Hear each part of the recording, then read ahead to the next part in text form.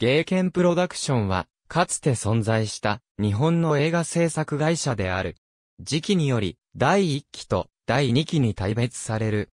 芸研とは、映画芸術研究所の略であり、制作会社として後者で表記されることもあるが、通常は芸研プロダクションと表記される。登記上の正式名称は、芸研株式会社である。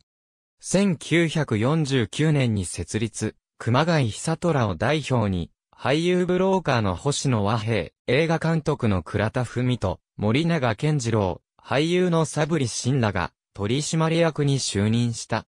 設立第一作は、倉田が監督、河津清三郎が主演した、殿様ホテルで、前年1948年に、東方葬儀が集結し、制作を再開した東方撮影所を使用して、制作、芸研プロダクションが東方と共同で配給した。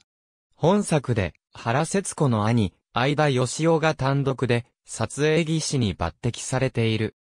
その正式な、設立第一作に先行し、ニュース映画的な短編ドキュメンタリー映画、スター家庭訪問記を制作。同年1月10日に、東京映画配給が配給して公開している1950年には、大野泉映画との提携制作を行い、サブリシンを女性対男性で映画監督としてデビューさせる。同年、星野がマネジメントしていた原節子を主演に、大野泉映画と提携して、アルプス物語野生を制作、いずれも東京映画配給が配給した。翌1951年3月末に、大野泉映画が合併して、東京映画配給が東映になったのを機に、一度芸権は閉じられ、星野は東京プロダクションを設立している。1952年には、星野は東京プロダクションも解散し、1954年に日活の契約プロデューサー、1955年には、新東方に入社、取締役撮影所長に就任している。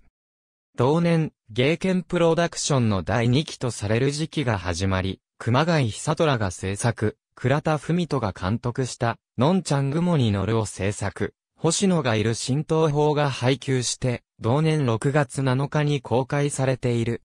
1957年の資料によれば、同年の芸県の代表は、のんちゃん雲に乗る、柿の木のある家、ケンジとその妹に、制作あるいは、企画としてクレジットされている、中田博次である。